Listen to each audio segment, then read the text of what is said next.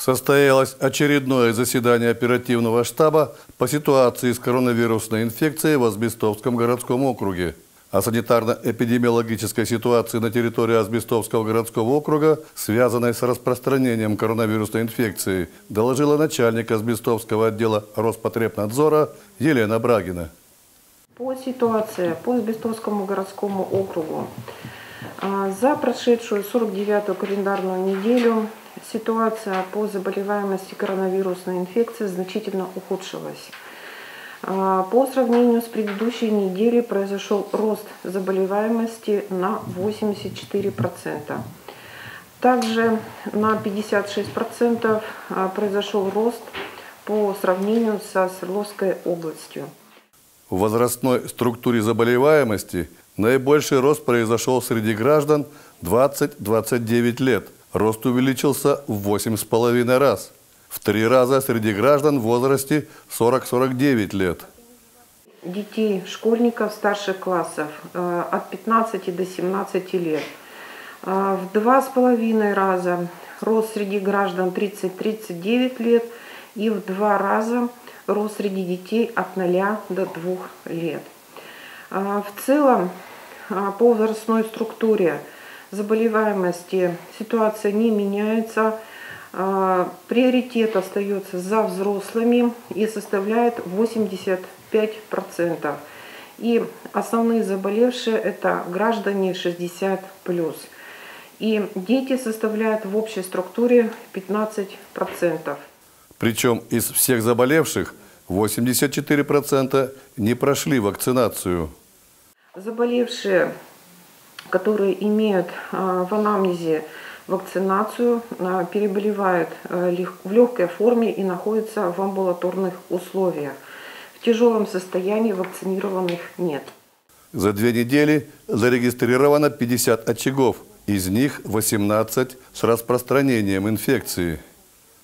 Самое большое количество очагов зарегистрировано и произошел резкий рост – это в детских образовательных учреждениях и составляет а, среди всех очагов 56%, 28 очагов. На втором месте это промышленные предприятия, 28%, 14 очагов, где а, наибольшее количество распространения идет а, на заводе РМЗ, энергоуправление, Ураласбест и Форес. На третьем месте это государственное учреждение. По причине коронавирусной инфекции закрыты 6 классов в пяти образовательных организациях и три группы в дошкольных образовательных организациях. Проводится мониторинг действий, связанных с соблюдением санитарных требований юридических лиц и предпринимателей без взаимодействия. Одна из форм – это мониторинг а, социальных сетей в сети интернет.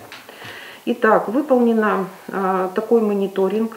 В ходе данного мониторинга установлено, что во Дворце культуры города Асбеста проводятся массовые мероприятия, мероприятия с участием а, граждан пенсионного возраста, кружки, без соблюдения масочного режима, без соблюдения социальной дистанции и, соответственно, а, сборы а, в таких кружках.